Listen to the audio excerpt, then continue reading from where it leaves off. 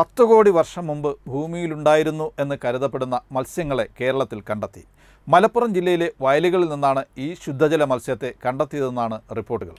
പുരാതന ഗോണ്ട്വാനൻ വംശത്തിന്റെ പിന്തുടർച്ചക്കാർ എന്ന് കരുതുന്ന അപൂർവം മത്സ്യ കുടുംബത്തെ കണ്ടെത്തിയ സംഭവം ഗവേഷണങ്ങളിൽ നിർണായകമാകുമെന്നാണ് വിലയിരുത്തൽ. എനിഗ്മ ചന്നക്കൊള്ള എന്നാണ് ഈ മത്സ്യകുടുംബത്തിന് നൽകിയിരിക്കുന്ന പേര്.